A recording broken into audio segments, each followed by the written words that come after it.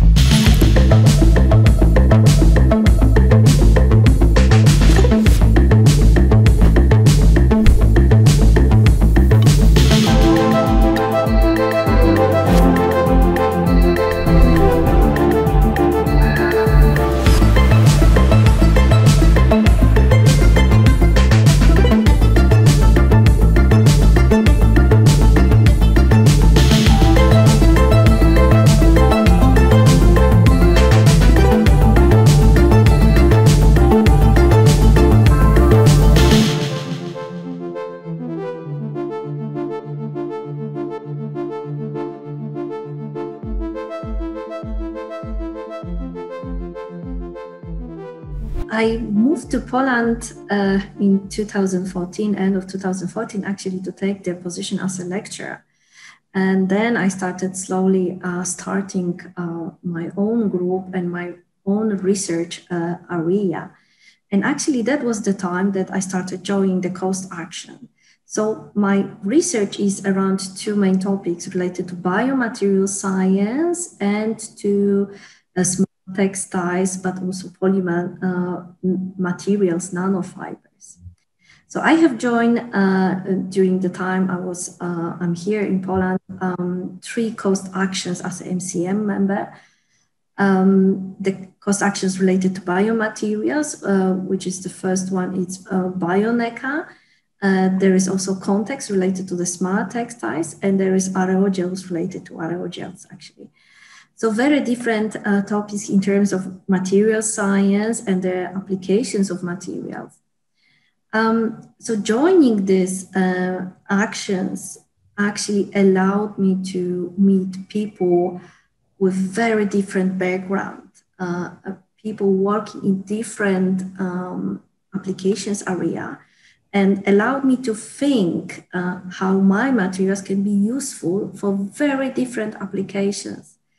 So uh, this way, I just wanted to say the cost action uh, actually helped me a lot in building the team, also the research area, and, and looking for new perspective of the materials that I'm working with uh, for various applications uh, in terms of material science. So cost actions actually have a few uh, very useful tools uh, that can be used for young researcher, early career investigators one of them, they are short-term scientific missions. So I encourage my PhD student actually to join various teams at different groups and universities in Europe.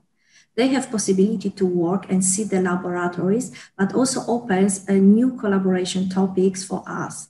They bring a new knowledge. Uh, they it brings excitement for them uh, to to do new things, to learn new things, uh, but also uh, to uh, write scientific papers in the topics uh, that they will help in their research career as they are starting.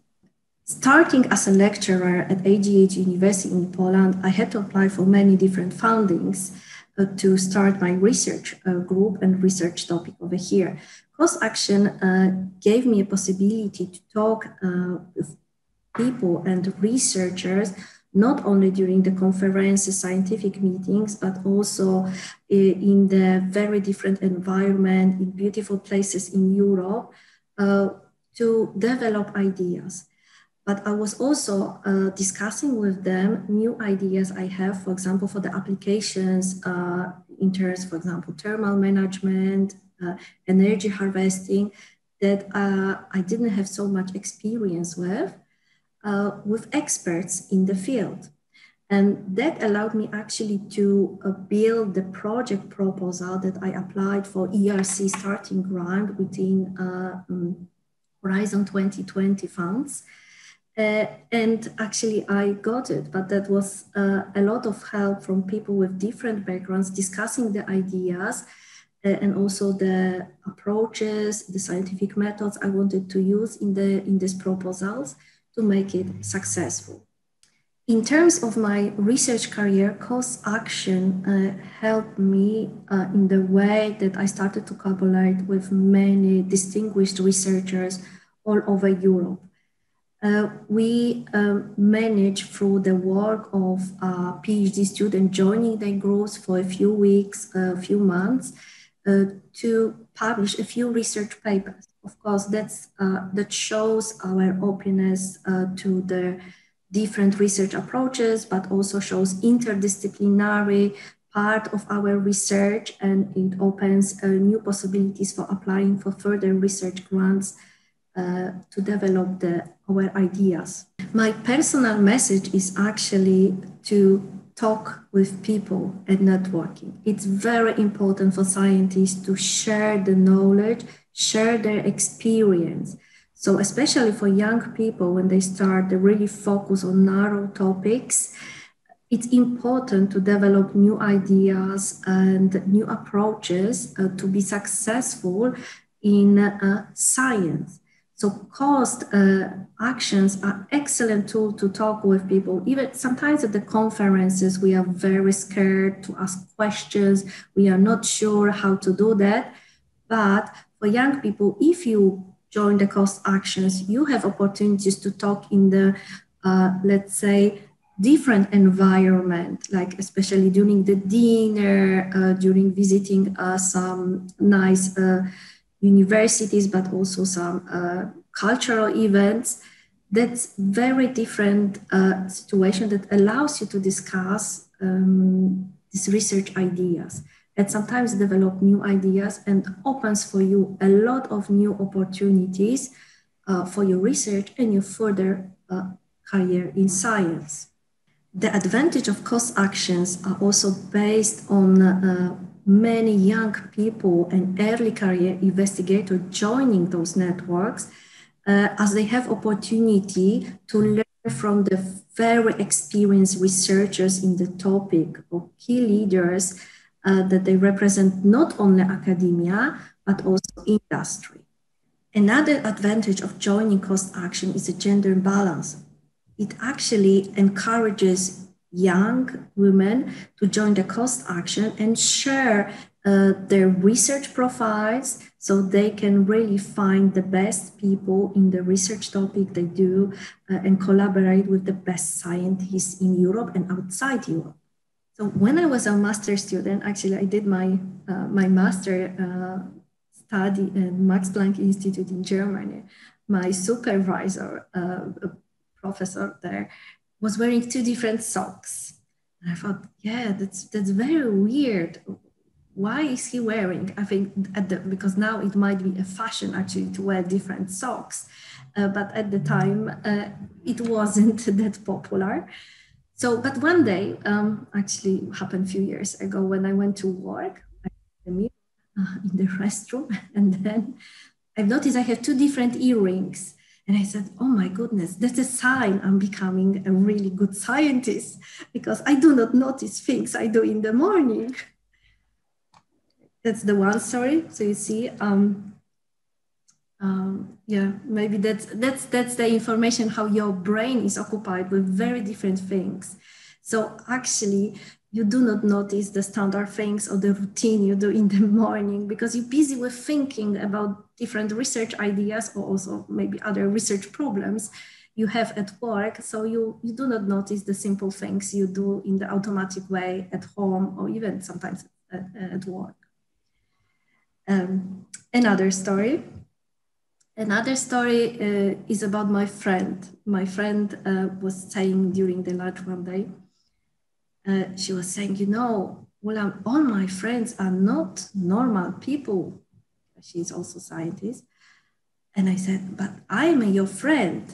Yes, you are not normal. And then I realized that actually what she said is really um, a true, you know, interesting true that uh, many scientists actually they are they're really addicted to science and they are not thinking in the standard way. So I really consider this as a, a compliment about being not normal or thinking really outside of the box. But it's not only thinking outside of the box.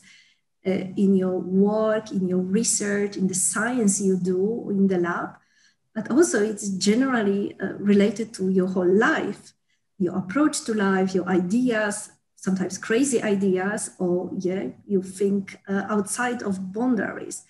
And, and actually science is your life when you when you become a scientist. So you, you fix it to certain things so it really appears in your in your way you behave, you dress up in a funny way or not funny way, or or you don't care how you dress up. Uh, that's uh, that's the appearance of science. So um, it becomes part of your life. Uh, the meetings via cost action gives you opportunity actually to meet friends, which is very important in terms of collaboration in science uh, we have possibility to talk during the various uh, cultural events, during the dinner with a glass of wine and discussing uh, science, but also uh, various life uh, things, problems, situations. And that gives you a possibility to, uh, to find friends, which helps you to develop new ideas that you ideas, but also collaborations that you never thought about. So you find people you like to collaborate with, but you also have friends uh, that you can ask for advice, for help, which is important in science and in any, any kind of work uh, that, you, that you have people you can trust. Our cost action actually started in a very strange way. It was, uh, we didn't really join as much as we uh, me and a colleague decided to start a cost action. And it basically came about from conversations that we had about publications springing up all around the world in our field and nobody apparently knowing each other. So these were all independent groups working on almost exactly the same thing. Um, and it was kind of strange that nobody was familiar with any of the other groups. So we basically thought it would be a great idea if we could bring everybody together so we don't step on each other's toes so we can try and uh, collaborate on different things and uh, push the field together. So uh, we basically cold emailed everybody and said, Do you want to start a cost action? Everyone was really excited and surprised to get an email from somebody at random working on the same thing. And that's basically how it started. So I think in that sense, the cost action really just organically started from a bunch of people doing the same thing in different places and us just deciding, okay, let's just talk about what we do. Um, another thing I think that sort of uh, really motivated us to start this action, um, this, this conversation with a colleague in Imperial College, was um, the idea that it's a very niche field. And so where we would present our results would be in very general conferences. And almost all our talks would well, 90% of the talk was explaining what the field actually was that we were doing. And then we have 10% to explain the details, the results to a group of people who didn't really understand them anyway. And so we thought, wouldn't it be nice if we could have a meeting where we actually go straight to the punchline and discuss that instead of giving this endless introduction? Um, and that's basically what the cost meetings became, where no one had to explain what they were doing. We just explained exactly what we were doing. And I think that's what really um, was a big thing for, for us at least. Um, the most useful tools, I think, for us were, were probably the, the ones for arranging meetings and training schools. So I think um, the fact that everybody could fly and meet without worrying about expenses um, was a huge thing. And there was no other way you could justify going to such a specialized meeting um, in a different country, and especially for young researchers. Um, that was something, there was just no budget for that. If you're going to present, you're going to present at a big meeting somewhere. Um, so I think that really made it that all the people working in this field could actually meet in one place, um, something that wouldn't have been possible without the cost funding. Um, also important for us was the training schools. So not me in particular, but I think it brought a lot of people into the field. And so our training schools, they were very, they were very dense training schools for three, four days um, with hands-on sessions and lots of lectures. And they were always, we had way more applications than we could actually accept. um, and they were very sought after, and people had to do a long application processes, so we can be very selective. But I think everybody always really liked them. So we, we had one in Heidelberg, one in Lyon, one in Israel, and the next one's going to be virtual.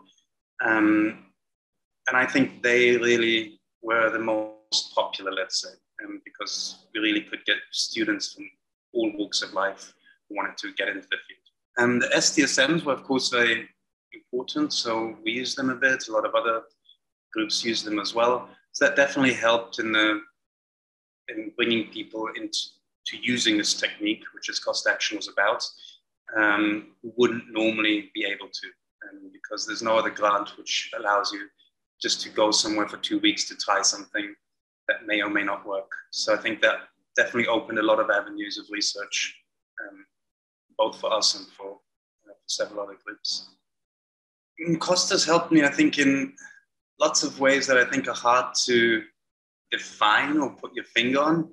So obviously knowing everybody working in the field and on a personal level um, helps um, uh, in terms of building many collaborations. If I have a question in one particular area that I'm not that, um, that fluent in, I know exactly who to talk to and I can just call them. So I think definitely this sense of community naturally helps. So um, when we hire PhDs or postdocs now, I can write straight away all these groups that I know would have good PhDs and postdocs. So I think, I mean, the most important thing is really just this personal connection that you develop with all the researchers working in the field, um, which is hard to sort of quantify. It's just something that exists. Um, in terms of grant applications, yes, we applied with lots of groups together. Um, we got national grants, we're applying for international grants. So obviously these are things that wouldn't have happened without the cost meetings where we actually discussed these.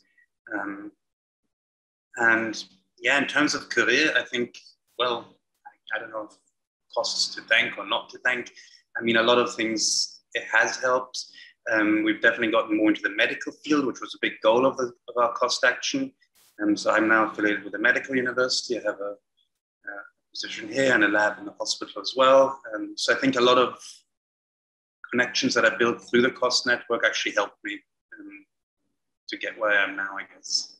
Our cost action, I think, is a it's a very nice cost action. It's probably one of the smaller cost actions, um, meaning because it's a, very, it's a very niche field, so there's not really that many people, and the community is very supportive. So I think that's a, that was a very positive thing about our action, and it was very easy to always visit people working in, in, in very similar fields in different countries um, and exchange students and postdocs visiting other labs. So I think that definitely helped a lot of PhDs and postdocs to actually um, see how other labs work in different countries um, and eventually even move there in some cases to, uh, to further pursue their studies. Uh, I mean, is of course a very prestigious grant. It's not easy to get. Um, and I think that definitely looks good on every CV. Um, especially in, our, in my case where I actually chaired the, um, the action itself, um, I think that definitely helped in, in getting me to my current position. Um, and definitely sort of you get you get visibility in the community, of course, if you're uh, if you have uh, a leading role in one of these actions. So I definitely would encourage it for young researchers because it really does open up a lot of doors in several ways networking is, is important for lots of reasons. Um, one of the main reasons in our case is really to see, because it's a very small field that we're working in, and there's a lot of very, particular problems um, which overlap. And the networking was in so much important that to make sure that not everybody's trying to work on the same thing or trying to repeat the same mistakes. So really, if you have all these people in one room talking about what they're doing, and you'll realize very quickly, oh, this guy tried this already. We're not going to do this. Or he's already way ahead in this. There's no point in starting this. Um, and sort of everyone sort of can carve out their own niche in the field so that progress really goes uniformly forward instead of everyone fighting for one thing and only one person getting a paper and everyone else being disappointed and shocked. So I think in that sense, it was, for us, it worked really well in the field in that everybody now knows where everyone else is and no one's stepping on anyone's toes. And if they do, they talk to each other and things come out together or in tandem in some way. I think cost actions probably help my work the most in ways that I can't quantify, just in the sense that I could actually have all these discussions with all these people with expertise in different areas of the field and talking about personal experiences, um, things that went wrong, things that went right, um, tricks and experimental tricks, theoretical tricks.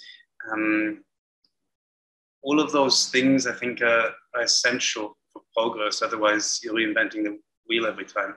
So I think that's probably those little things saved me the most time and the most headache um, and benefited me the most. Um, on a larger scale, yes, I mean, there's, there's grants that we apply for together and we send people to learn a particularly theoretical aspect to another lab. So I think that's definitely also beneficial from a very physical and quantifiable perspective. But I think personally, I would say it's these informal discussions that sort of really um, benefited me the most in the long run and in the short run. So cost has enabled us to apply for the grants, um, both national and international. So um, we've got one national grant now where we're actually working on COVID samples. So this is one of these urgent funding projects.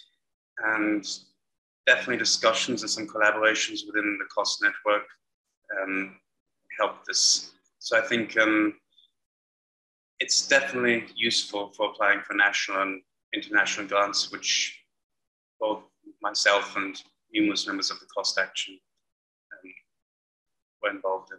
So I think for our field, cost was essential in kickstarting the field because it is a very niche field. Um, it was very hard for it to get acceptance in the microscopy community.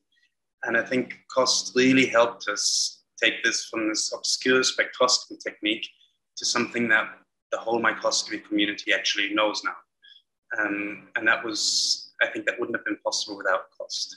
Um, the community really knows each other. They have their own sessions, they have been conferences, and we've been starting our own society based on this. So this is basically a continuation of the cost. Um, and this will be in our next meeting, which is outside of our cost funding.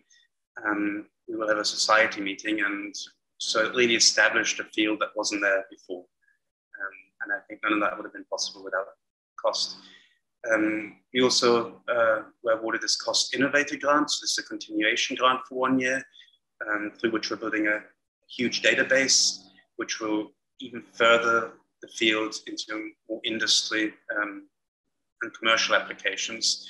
And so I think cost is still helping us um, build this to the next level where we can really say this is a standard technique and everyone should know about it. Um, so in that sense, I think cost really did this field a big favor. Now, I think cost is definitely for young researchers an ideal tool um, because you really get to meet a lot of other young researchers working in the same field as you and really discuss um, your projects on a very informal basis. Um, the funding from cost is very good in, in, the sense that they cover everything to do with travel. Um, and you really sort of find yourself in a community, um, which is essential in, I think, every scientific field um, of like minded people, which, uh, which a lot of times is missing in larger conferences that you go to. Um, so, for young researchers, I definitely would encourage them to take advantage of all all the different tools from cost, especially the, uh, the plenary meetings, the main meetings, the training schools, and of course um, the scientific exchanges. I mean, if that's relevant to what you're doing, um, that's definitely um, a very useful, uh, generous tool by cost. So I think uh, my advice would be use it as much as you can um, and don't be hesitant. It's only a lot you can gain. When it came to it, I didn't just join a cost action. I looked at the description of the program and I decided together with a colleague, also a friend of mine who I did a PhD with almost at the same time. And um, we decided to apply for a cost action. It eventually got accepted. I then, then became chair. My friend, colleague, Martin O'Halloran became vice chair. And at the time, we'd recently finished our PhDs in Ireland. I just got my first postdoctoral funding in Portugal, and I was looking um, at different types of funding opportunities. There wasn't a lot of options at the early stage of my career back then. I was 27, 28. Um, so there was very little choices given that I just finished my PhD and also I didn't have a permanent contract then. So um, this was um, something that made me apply for a cost action at the time. Um, the other reason was that um, when we were doing our PhDs, we had observed that the research in our area was done independently by different groups um, they were all scattered around the world. Each of them was doing their thing, trying to advance the area. And we saw that the cost action would be a good opportunity to gather, gather people together to build a cohesive uh, community for the four years of the action. And this had many ripple effects and subsequent projects uh, working together, and even another cost action with a slightly different topic of research. So all cost instruments were very useful uh, for an early stage researcher that I was. Uh, dedicated training schools in our areas of interest, all dissemination activities that we use to promote our work, convened in special sessions in conferences around the world, they're all very important. I think one of the most useful ones for me personally was the short-term scientific missions. I went on three during the, the course of the action that I chaired. And I also recognized the importance of ITC conference grants, but unfortunately, those were only available in the last months of the action that I led. But I see now that many young PhD students and young researchers, they, they've become very popular and they're very useful um, in the cost action that I now work as a working group leader. I was at a postdoctoral level when I was leading my actions. So indeed, the training schools and the short-term scientific missions, where which I used to collaborate with other researchers in other labs. Um, those two tools were very important to advance my career. I gained knowledge and collaborate with those people to this day, even though my cost action officially ended almost four years ago. Um, so a lot of collaboration for sure. I am a true believer that together, one group of people or a community can achieve so much more than ha- and have more impact compared to doing things by yourself. I come from a past of interna- internationalization. So during an Erasmus while studying for my degree, then doing a master's in a foreign country, moving to another country for my PhD. And since the area I specialized during my PhD did not effectively exist in Portugal before I joined my institution, and by the way, my institute uh, for biophysics and biomedical engineering was very kind to embrace a somewhat unknown area of research with the common interest of only breast cancer detection, a completely different modality. So as I was saying, because this area of research didn't exist in Portugal when I when I joined uh, my institute, I had a very urgent need to establish working collaborations with researchers in other countries with whom I shared research interests. So I benefited greatly from these collaborations. I have participated in a number of co-authored, co-authored journal and conference papers, and also two books so far. I've also hosted a number of collaborators at my institution in Portugal and established very healthy and friendly collaborations with them. And this level of interna- internationalization has been acknowledged by my colleagues. And I've achieved a permanent position in Portugal at the age of 31, which is rather unusual in Portugal. I was awarded with an FP7 Marie Curie Fellowship, and also the cost action was accepted almost at the same time, and both of them less than two years since my PhD. So the cost action lasted four years of intensive networking and collaborative work, which certainly helped me build my CV. And ultimately, I applied for the position that I have now as an assistant professor. It was a very tight competition with much senior colleagues. Uh, but I guess that the potential that I showed to lead an action at such an early age, I was only 28 when it started, certainly leveraged my CV when it came to my evaluation. I have very fond memories of the lovely people that I met over the years. And most of the times I was the youngest one in the room. So it was, um, everyone was very friendly to me. Um, a funny story is that for a lot of our meetings, it was always raining. Even Lisbon, which is meant to be one of the sunniest capitals in Europe, there was rain at all our meetings everywhere. And I think it only stopped when we went to Athens. Um, but nonetheless, when we were in Belgrade, this was June, very sunny altogether, but there was a huge storm. And we were doing this uh, tour with a really funny guide, but we all ended up in a line under a very small roof, waiting for the rain to pass before we could finish our tour, which we couldn't do because it was just raining too much. And then we had our social dinner, and everyone was drenched. So it was quite funny. As a message for young researchers, um, I can definitely see the benefit of uh, PhD students to take um, take part in cost actions in taking leading roles if um, at all possible and avail of all the cost action tools to advance their PhD and their studies. And I think that also once you've finished your degree, you're um, you'll have a very good experience leading a cost action like I did. See if the if the record of the youngest researcher is broken. we had some interesting success stories of networking, not only of people, but also of material and equipment during our cost action.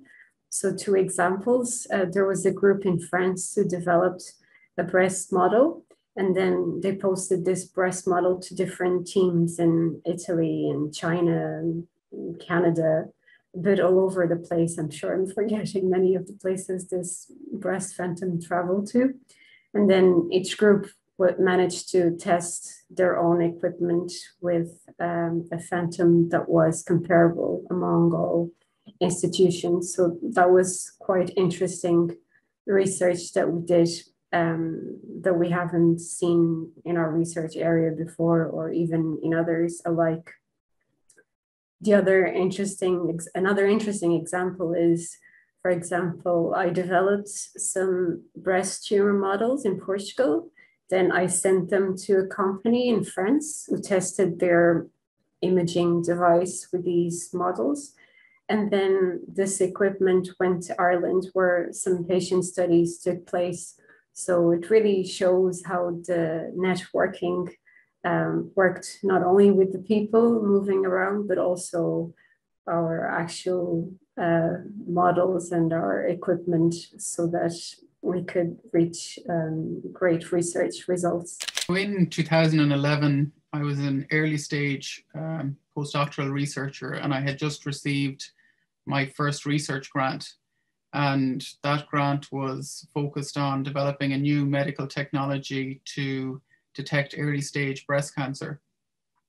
And one of the things that I was really conscious of as a funded researcher is that you have a responsibility when you receive the, this type of funding to make an impact on patients and improve society and improve outcomes for, for patients diagnosed with breast cancer.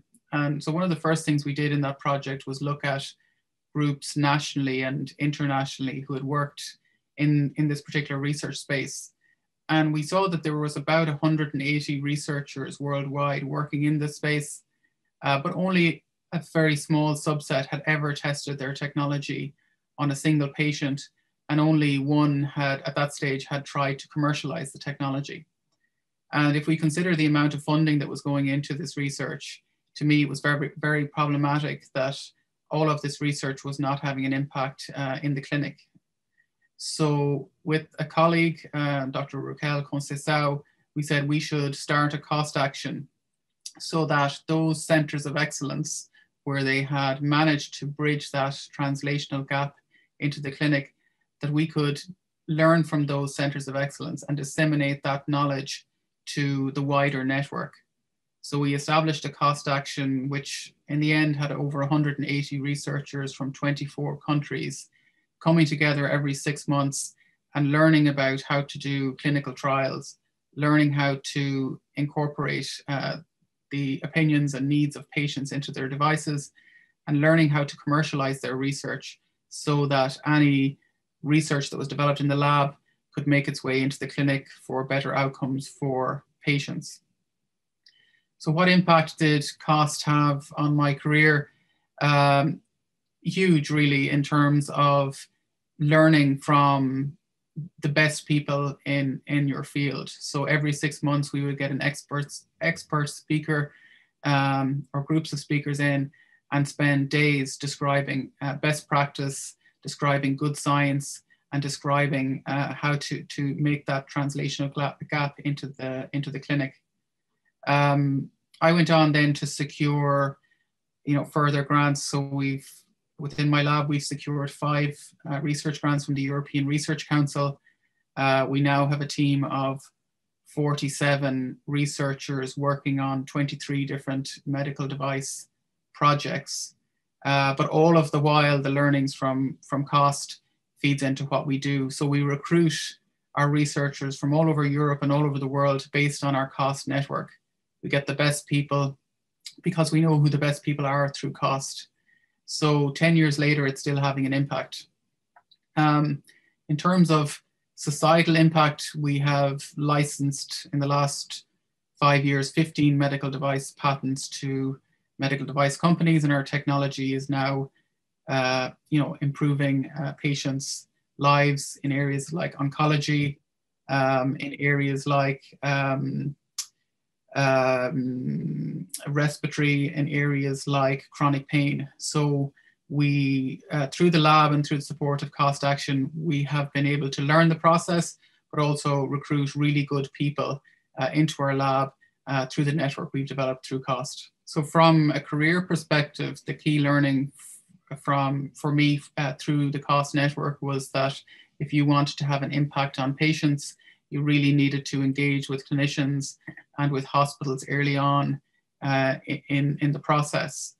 So to reflect this, um, my position in the university here in Galway was the first ever position in the 150 years of history of the university that is between the uh, colleges of engineering and the colleges of medicine.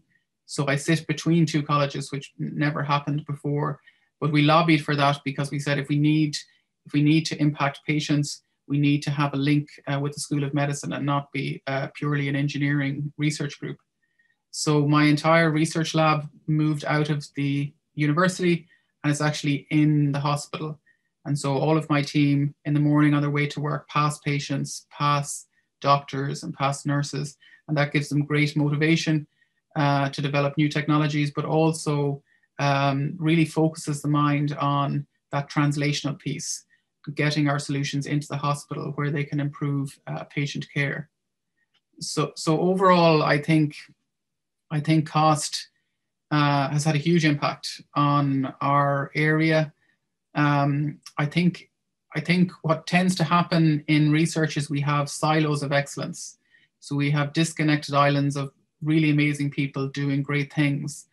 Uh, and what cost allows us to do is to disseminate that best practice. So not only do we have four sites of research excellence in Europe, we have 400, and that's what COST does. And um, so I would be a huge supporter of the program, uh, and I think its value cannot be uh, uh, overestimated. I have joined two cost actions uh, because of the scientific areas they cover uh, and the networking opportunities. My work includes veterinary epidemiology, economics, and biostatistics and I have a PhD in the field of mathematical epidemiology in animal health. And as I am the first to work in this field in Slovenia, my first cost action was one of the best investment of my time.